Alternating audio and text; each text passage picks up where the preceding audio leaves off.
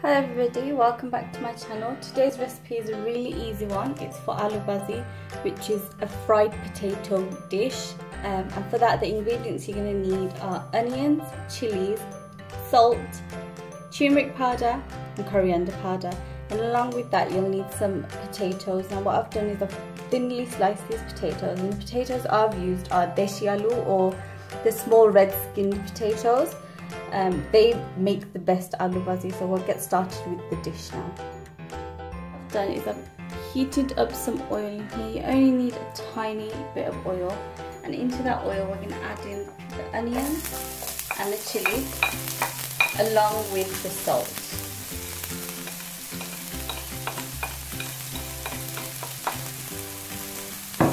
And we're just going to fry these onions in the oil until they reach a nice golden brown colour. Fry the onions for about six minutes and they're starting to brown up now. So what we're going to do is add our spices in.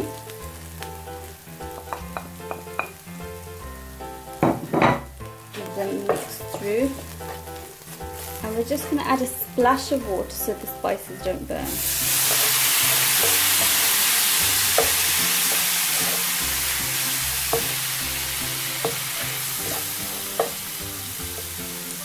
Lot more.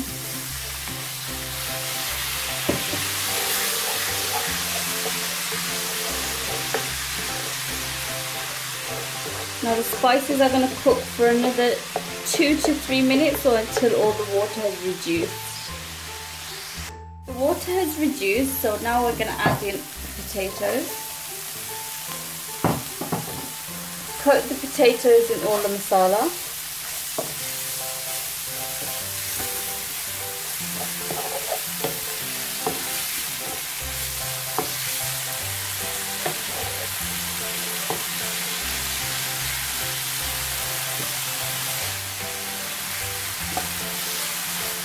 Add a splash more water just to help the potatoes cook and soften.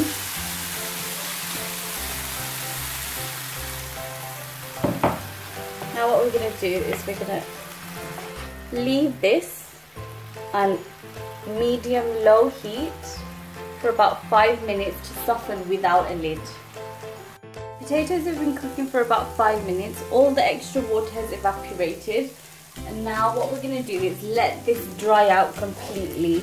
Some of it will turn a bit crispy and some of it will stay soft. So that's what we're looking for. Just spread it out. Leave it on medium-low heat and let that dry out completely and turn a bit crispy. Potato fried for an additional 5 minutes. Now they've all gone a bit crispy and some of it's gone a bit soft. Now what I'm going to do is let it cool and serve up. Uh, Our aloo bhaji is now ready. I hope you enjoyed this recipe and give it a go. If you enjoyed this recipe, please give it a thumbs up and subscribe to the channel and leave any comments down below of recipes you want to see next. Thank you. Bye bye.